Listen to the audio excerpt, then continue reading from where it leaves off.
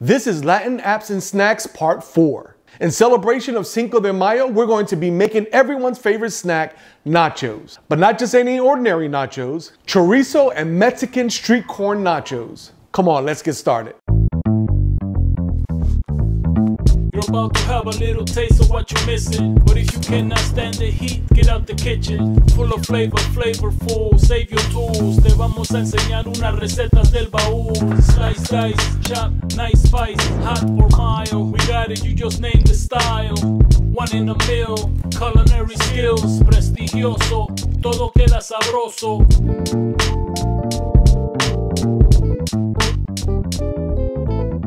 Doesn't love nachos? Today we're going to be combining three different ingredients that shine on their own, but together, magic. Tortilla chips, chorizo, Mexican street corn. What's not to like about it? So the first thing we're gonna do is prepare our Mexican street corn. What is Mexican street corn anyway? Basically, it's corn that's uh, either grilled or roasted or even boiled, and it's slathered in mayo and covered in cotija cheese, sprinkled with lime juice. And so today I'm going to be using fresh corn on the cob, and we're going to roast it right? In those street corn flavors with the mayo and the cotija cheese and the lime juice. And we're going to roast it so that all those flavors just bake into that corn. And then we're going to cut it off the cob and we're going to add it to our nachos. The tip I want to share with you today is how to peel the corn. Traditionally, you would take the corn, you would just peel it down, right? That's the old traditional method and it's great. I do it all the time. However, sometimes it leaves these little strands of the corn, of the husk, right? And sometimes that can get in your teeth, and just people don't like that particularly. And so I'm going to show you a way where you can peel the corn, not have any of those strings um, in that corn. I'm removing some of the outer leaves and trimming the top. Feel with your finger where the bottom of the corn is and cut half inch above that to expose the corn. Place in a pot of boiling hot water. Let's prepare the chorizo by first removing the casing. The way to do that is by running a sharp knife across the chorizo and then peeling it back like a banana.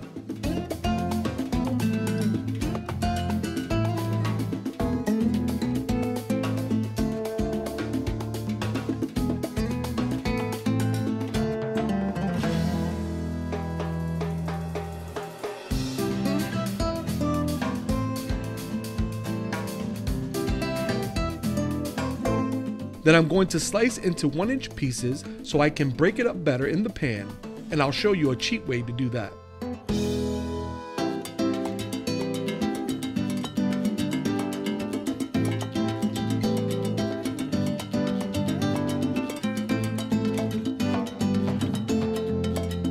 Why didn't I get a bigger bowl?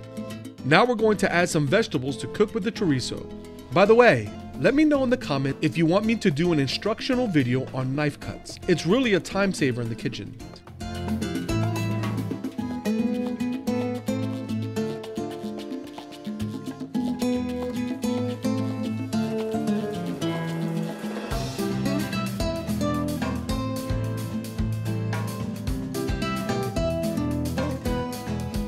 Do the same with a quarter each of green and red bell pepper.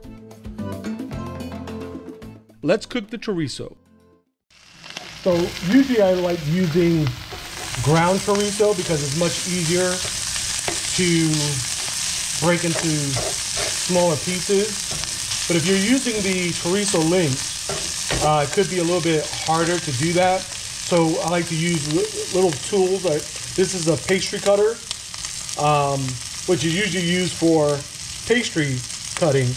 But today I used it to kind of chop up that chorizo. So use what you have on hand. Uh, you'll be surprised what some of your basic uh, kitchen tools can do other than what, what it was designed for. And as you can see, uh, made pretty good use of that.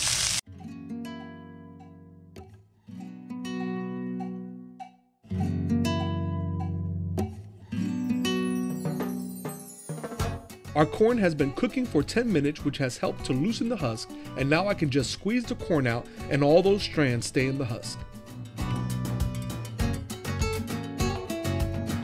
Perfect.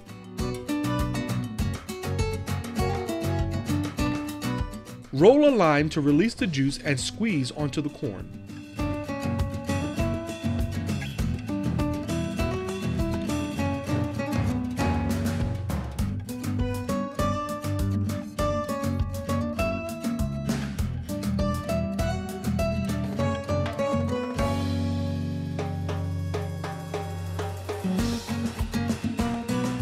We're going to slather mayo all over the corn. I'm using a Japanese mayo called Kewpie.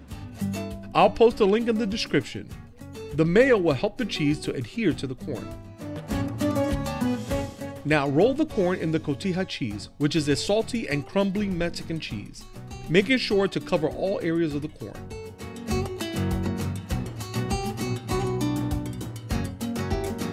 Place on a piece of aluminum foil and drizzle with olive oil. Lastly, we're going to sprinkle some Tajín, which is not only delicious on street corn, but on fruit as well. Roll the aluminum foil to enclose the corn, twisting the ends to secure.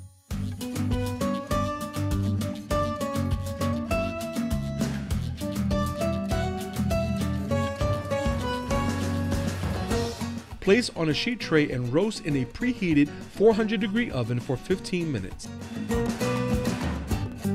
Once the corn is out of the oven, unwrap it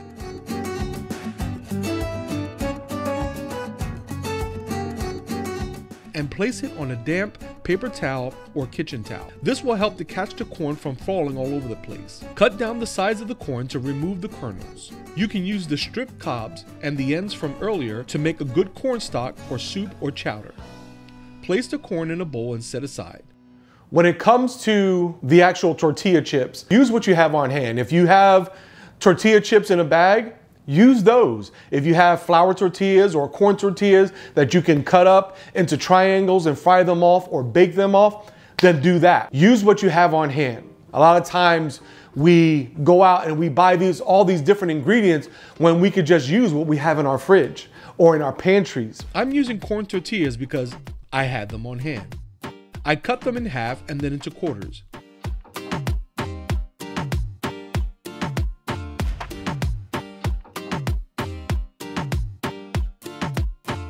This is about 15 tortillas in total. Fry in oil that has been preheated to 375 degrees until golden and crispy, about a minute. Drain on paper towels and season. I'm using a mixture of salt, pepper, garlic, and cumin. So now it's time to make our nachos. The same pan that I cooked the chorizo in, I'm going to use as my serving vessel because it has all that flavor inside that pan. Place half the tortilla chips in the pan, spreading them out across the bottom of the pan.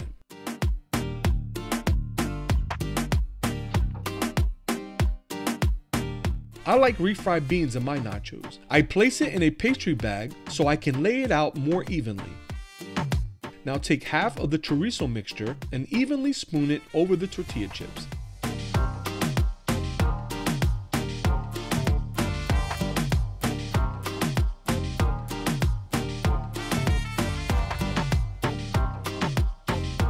Do the same with half of the Mexican street corn niblets.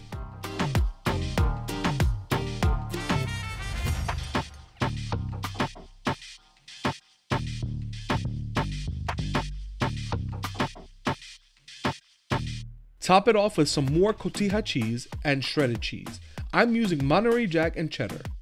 Repeat the process for the second layer.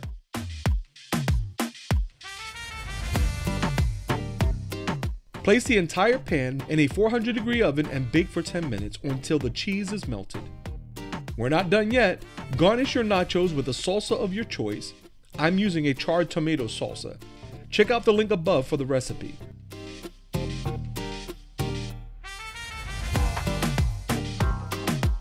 Drizzle with Mexican crema or sour cream. Dollop some fresh guacamole. Check out the link above for that recipe. Sprinkle with julienne scallions.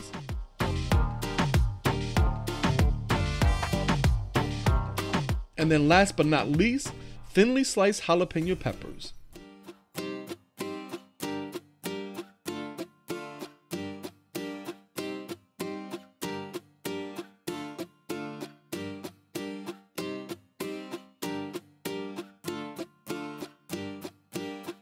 Mmm, sabroso.